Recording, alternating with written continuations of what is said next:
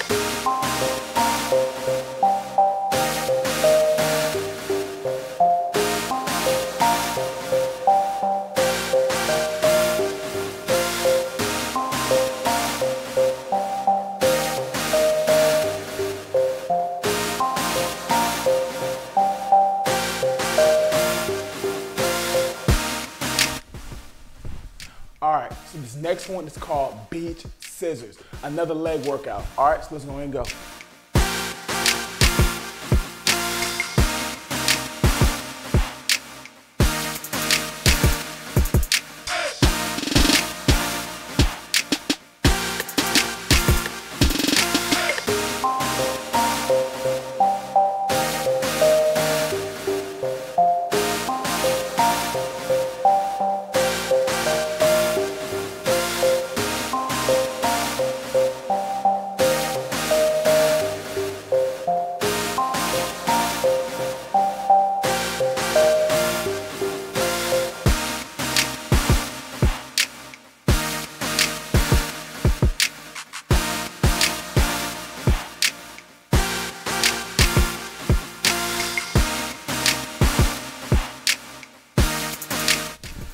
All right, fam, good job with those last movement. Now we're moving on to let me in. You're gonna need a towel for this one. You can do it on the door or do it on this machine like I'm getting ready to do it now. But if you need more information on how to do it on the door, check the description down and you'll see how to do it on there.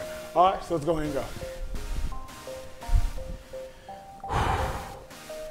All right, so in doing this, keep your core tight and guys, this is a back movement, so make sure your back is doing the movement, not just your arm, but your back. So squeeze that back muscle when you're doing it. All right, so squat down. You wanna lean into, um, lean backwards to where you're actually holding up your weight. Hold your abs in, I mean, as far as contract them, and then let's go.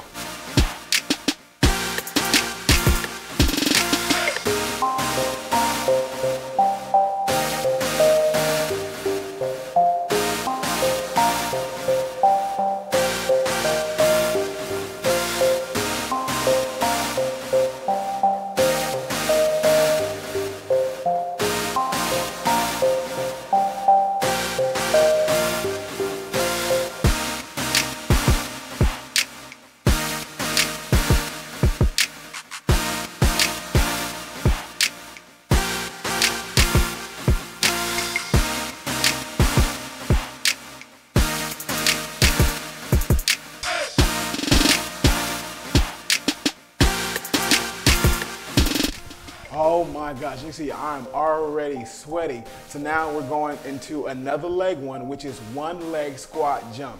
Get ready for your legs to burn on this one. All right, guys, so when performing this, go hand down on one knee, keep your core tight, and you're gonna explode off of the opposite leg. All right, let's go.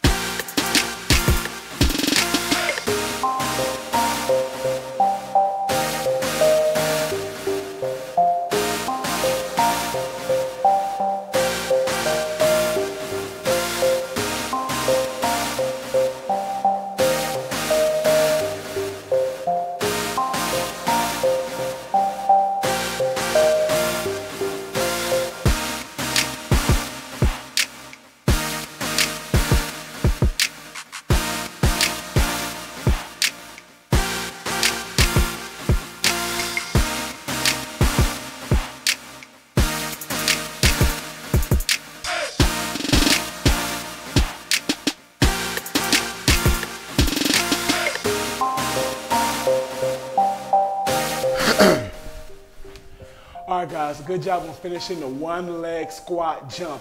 Now we're doing one leg squat. Now there's three ways to do this. Either you can do it on the door frame, which is the easy way. You can do it on the chair, which is the medium, or you can do it with nothing but your body, which is a harder version of it. Now the movement is the same, depending on what you're using to assist you will determine how hard it is. I'm going to use a chair right now because I'm a little tired, but again, there's three ways to do it. You can do it on the door frame where you're holding the door while you're doing the alternating legs. You do in the chair where you're sitting down on the chair and getting up and switching legs. Or again, you're not using anything at all where you're just switching legs, squatting down with one leg in the air. All right, so here we go. Uh, so, leg up, and you're gonna squat down onto the chair. And back up, leg down, alternate leg. Up, down, back up. Now it's the same thing you're gonna do for the door and without the chair. So without the chair would look something like this. See if I can do this. Of course, a lot further down.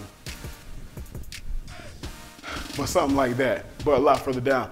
I'm not ready for that.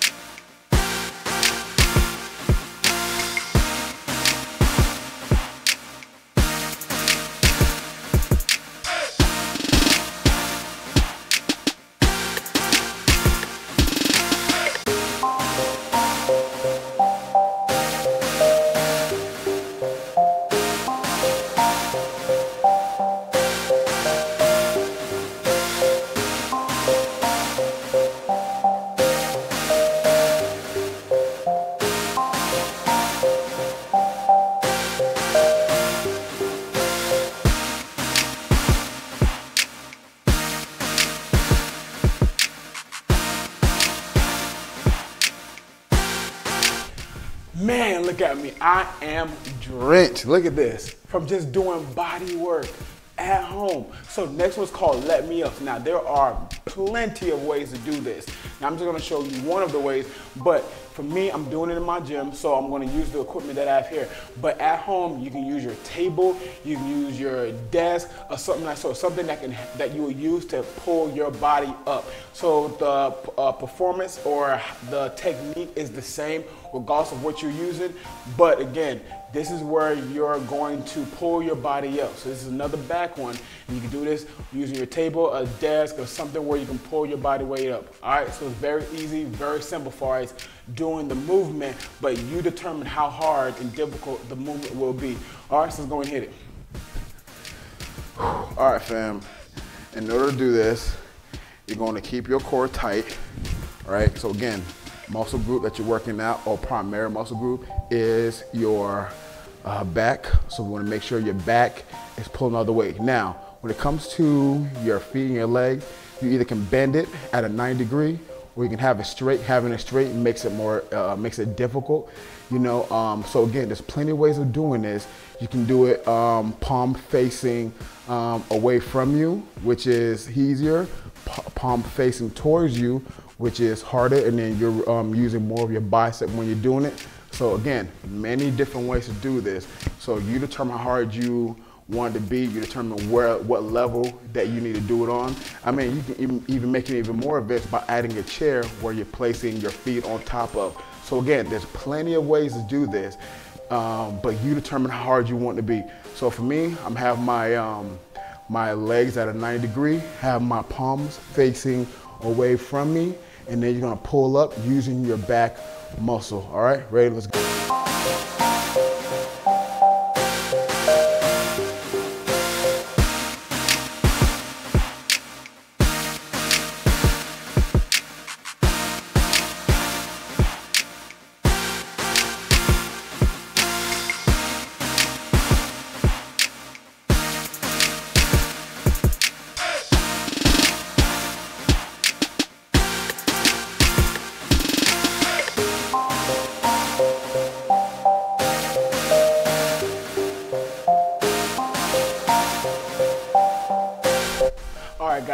Good job on that last one. Now we're moving on to something called ankle hold. This is a leg workout.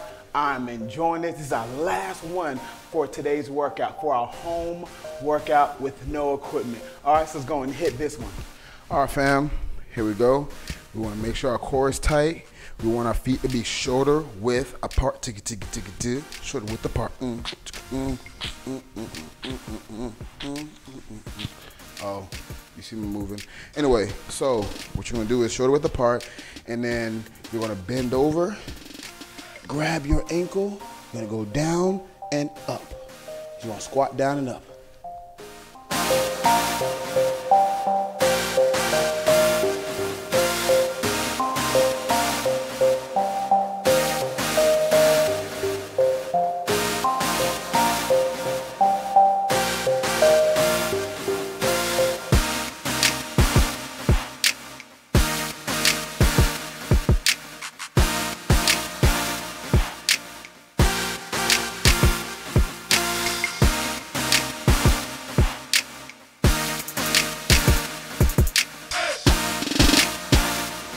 All right, guys, good job on completing your home workout with no equipment.